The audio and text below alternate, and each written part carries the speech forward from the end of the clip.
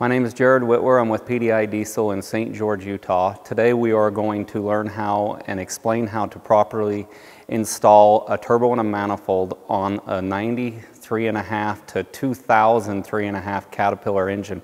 We'll be using Big Boss turbo and manifold and installation kit during this process. We're going to take the oil pressure line off and we'll be doing so. We'll be using two different crescent wrenches. There's a fitting and a swivel nut. We'll be holding the fitting while we're turning the swivel nut. Sure this is all the way off and you can flex it off to make sure. Then we're going to grab a 9 16 wobbly with a 3 8 drive ratchet. I'm taking off the oil pressure line. There's two bolts and one jam nut that's part of the line that holds it. You'll be reusing these 3 8 bolts. Now we'll be taking off the oil drain tube or a 9 16 wrench on the inside. Sometimes they're extra tight. Sometimes you can wiggle the line just a little bit to get them loose. You'll be reusing these bolts also. Sometimes you can just take and tap on the line a little bit to loosen it up. Helps them bolts come out a little easier. You move the line away from the turbo and then we'll go to uh, removing the turbo in, uh, bolts that hold the turbo to the manifold. And we'll be using two 9 16 wrenches to do that.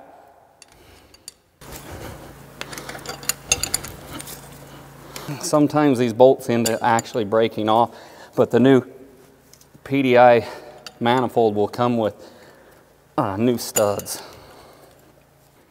Sometimes they come off easy, sometimes they strip the head off. It's from the heat being up and down heat during the engine life.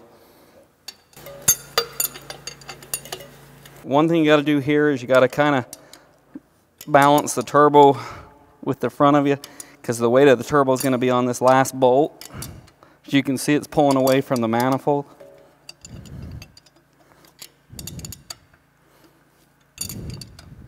And now we're going to take the manifold off of the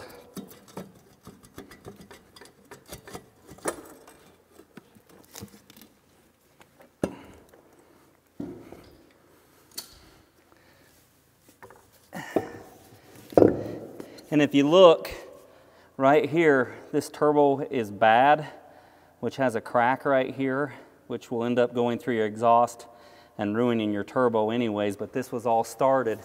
If you look right here, the center divider is started to be melted away because of the alloy they use in the steel. It's just actually gray iron where the PDI Big Boss manifold will be using high moly silicon ductile. Also another failure point on this manifold is they, on the joint where the manifold is a three piece, they don't use any type of press fit or any type of sill inside the joint. They use this so-called diaper. It's two clamps and a certain type of material. Uh, they really, really didn't see much success on it because of the heat and the shrink. The clamps would heat up and then they would not shrink back down, so the material would end up leaking out and you would have exhaust leaks here, which results in getting in uh, exhaust into your cab. So as we designed the Big Boss manifold, we designed it with a slip joint that also has an Inconel sill that's a, actually a serviceable sill, but yet it goes on, the tolerance is correct, and then the sill holds the exhaust from bypassing by. I always start with the uh, first nut that's, uh, stud and nut that's on the bottom of one this, but unfortunately this one has already fallen out, which is also a downfall that happens on these engines. Uh, the studs fall out, the elasticity of the bolt strength is not quite where it should be. Uh, we'll move on. Some of these you can impact.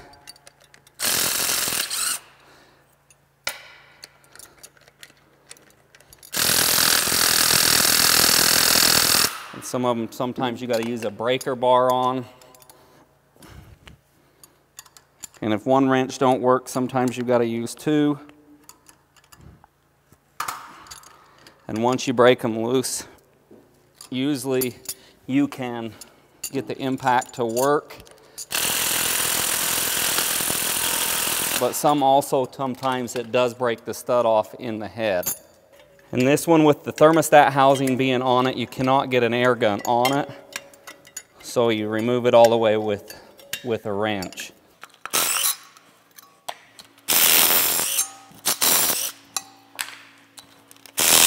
Always use the box end on it so you can get a decent grip. And that's what happens when they break off.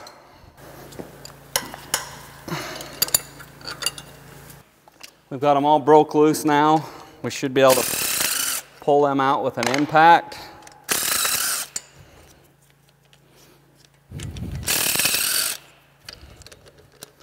You want to kind of grab a hold of the manifold as you lose, pull this last stud out so it don't fall off and hit your toe. Just kind of wiggle it off and then it's kind of got to come in and fit on the other to pull off there. As you can see, this bolt's broke off in here. There's numerous ways to fix it. Sometimes you can weld a nut on them and and get them out. Other times you can use a stud puller. So this is called the exhaust manifold sleeve that goes inside the cylinder head. We're going to slide it out. It comes out like that. And that's also a replaceable part when you change the to the Big Boss manifold. We also sell a Big Boss uh, install kit.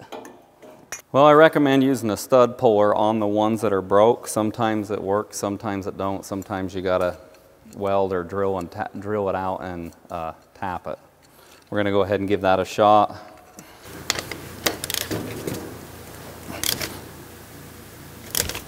We got lucky.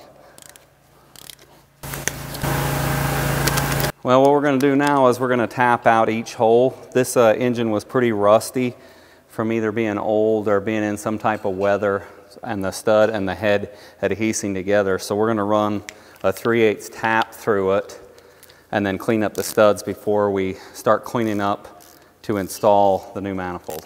You can see the rust and the old material coming out of it. This will make the installation of the new stud going in so it won't have a problem. And I suggest this on every hole. Okay, well we're going to start cleaning up the head. What I like to do is take a rag and put in each side, each port. That way you don't get uh, debris into your cylinder head or into your uh, piston area. I'm going to scrape the material off of the head.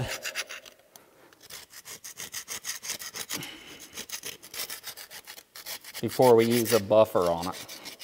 Use the buffer. I use a brown pad on, on steel. On aluminum, if you're cleaning some type of aluminum, you would use the red pad.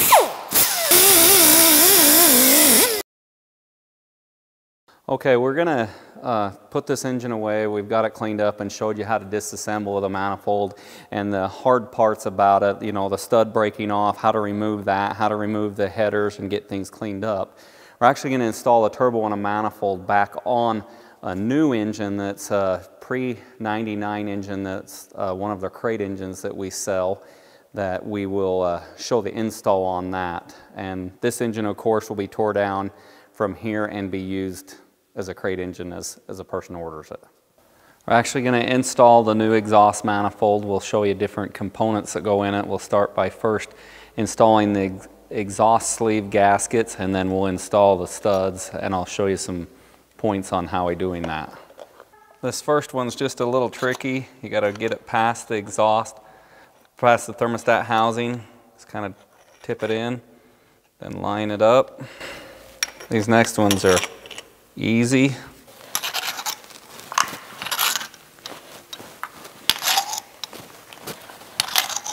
We're going to put the tapered end in. I always put some anti-seize on each end of the stud and that allows them not to get all rusted up.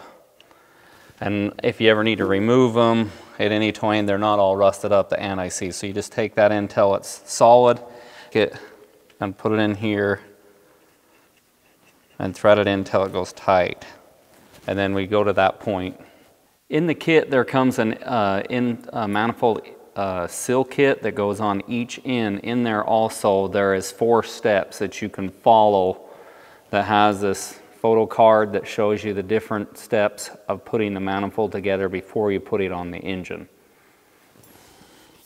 We're going to install the sill by putting the sill with the lip down and you can use concrete that's clean or you can use your toolbox or a workbench.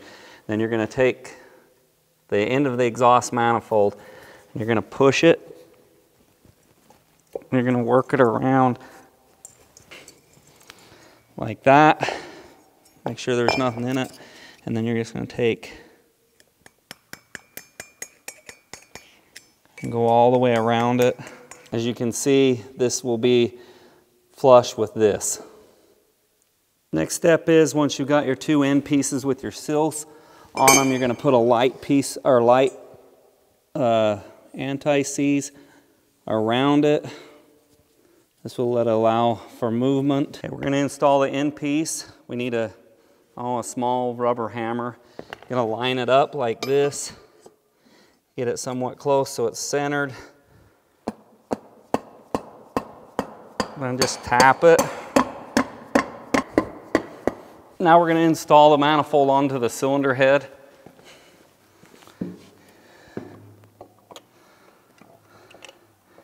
Kind of got to work it in behind that thermostat housing. And then once you come up to there, your studs will hold it into place.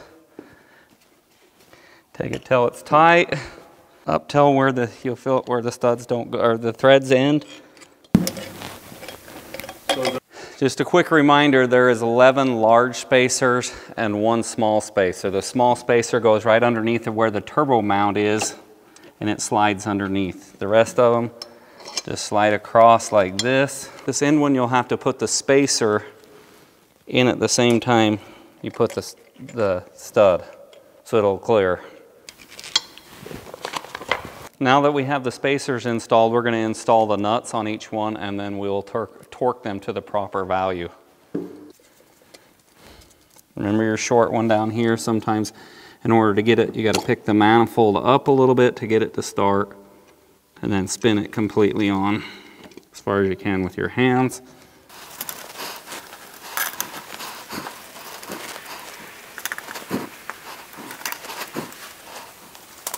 Now we're going to run these in a little bit with an impact.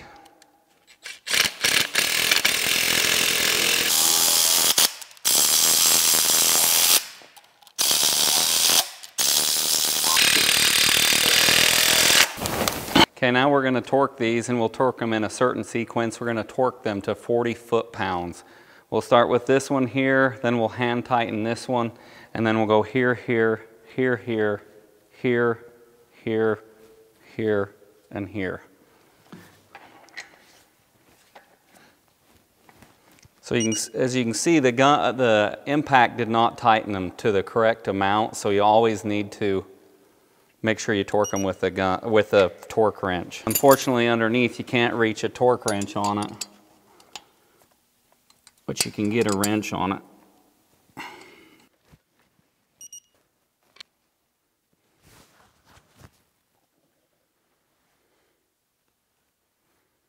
Okay, we're going to install the turbo on the, on the manifold now, which we'll start by putting the uh, manifold bolts. There's two different sets of bolts that come with this.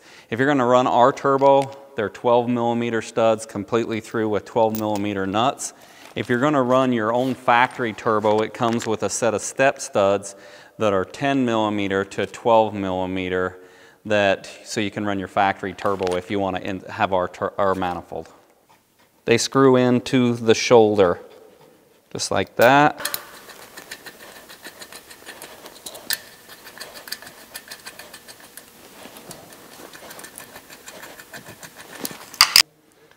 Going to grab the gasket. Going to slide on like that. It's going to slide up on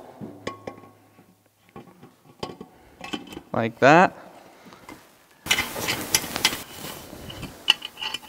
going to take an 18 millimeter wrench to tighten it. And I always do this from one corner to the other.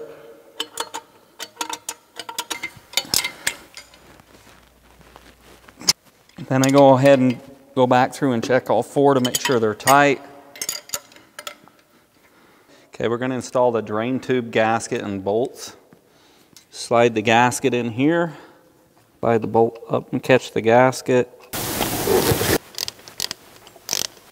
Okay, we're gonna be putting on the uh, oil feed line next, but one thing we need to make sure we do is pre-lube this turbo.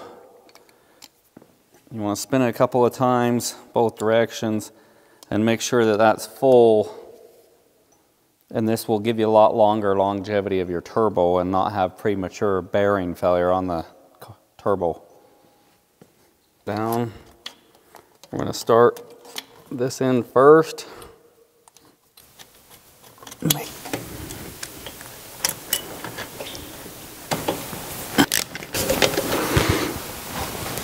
Okay, your elbow kit comes with an O-ring. The O-ring goes inside this groove.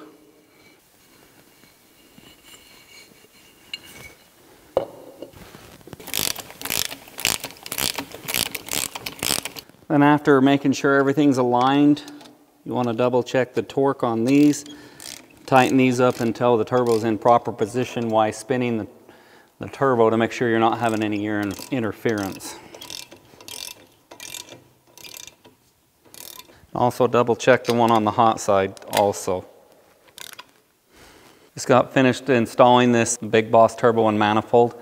If there's any questions, uh, look up pdidiesel.com or call 1-800-511-1231 and we'll have the answers for you.